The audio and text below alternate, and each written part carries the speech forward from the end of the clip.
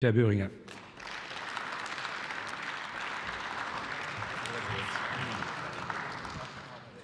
Herr Präsident, verehrte Kolleginnen und Kollegen!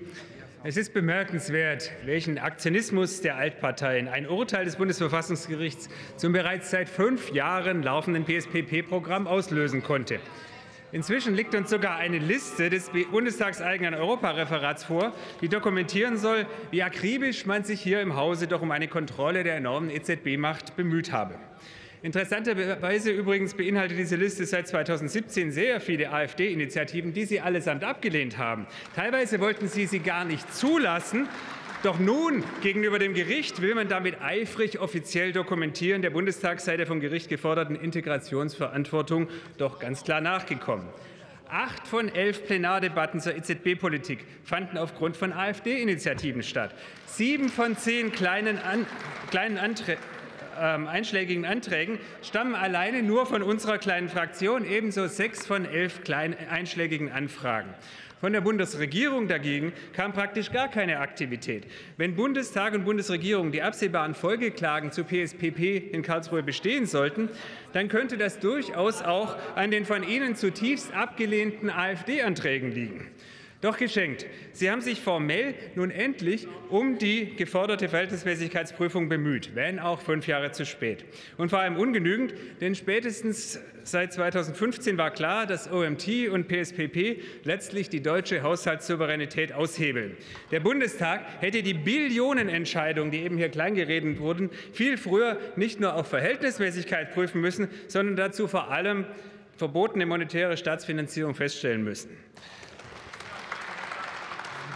Die Integrationsverantwortung, der Integrationsverantwortung werden wir nicht mit einer von Karlsruhe erzwungenen Eildebatte zu PSPP gerecht. Und es genügt auch kein unverbindlicher monetärer Dialog in nicht öffentlichen Zirkeln oder gar über unsere Geheimschutzstelle, wie am Montag geschehen.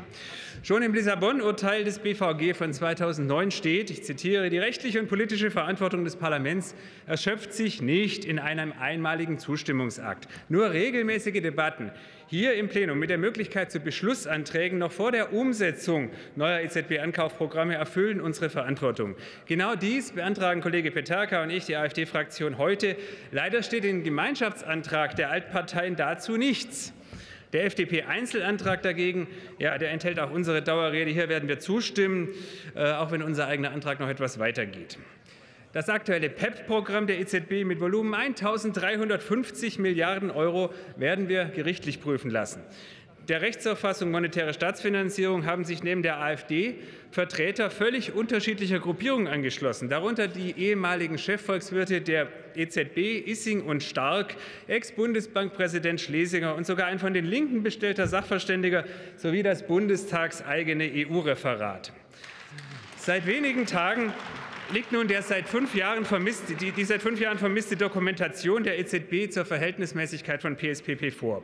Ich stelle fest, dass diese zuerst den Medien zugespielt wurde und erst sehr, sehr spät über die Geheimschutzstelle uns Abgeordneten. Leider eine übliche Unsitte. Inhaltlich, okay, teilweise über die Geheimschutzstelle, um diesen Einwand zu begegnen.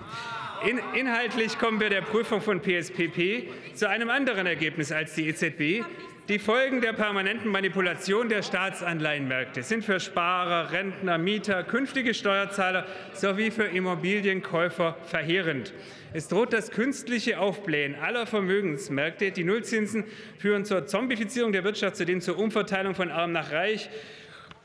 Am Ende steht eine Depression, ganz zum Schluss gar ein Währungscrash. Unsere im Ergebnis vernichtende Abwägung PSPP Billionen gegen all diese Nachteile teilt übrigens auch eine neue Studie der Commerzbank. Daraus zitiert, insgesamt bleiben selbst auf der Grundlage von Studien der EZB Zweifel an der Verhältnismäßigkeit der Anleihekäufe. Es ergeben sich aus den Käufen große Risiken für die Finanzstabilität. Das sagt die EZB selbst. Sie betont, dass die negativen Auswirkungen einer expansiven Geldpolitik mit deren Dauer zunehmen würden. Genügend Gründe also, und damit komme ich zum Schluss, diese Auswirkungen nach inzwischen zehnjähriger Dauer immer kritischer zu beobachten, zu bewerten und zu stoppen. Nachdem der Präsident anmahnt, mein letzter Satz. Ich protestiere gegen die völlig ungenügende Behandlung dieses Billionenthemas im Bundestag in absurd kurzen 30 Minuten. Herzlichen Dank.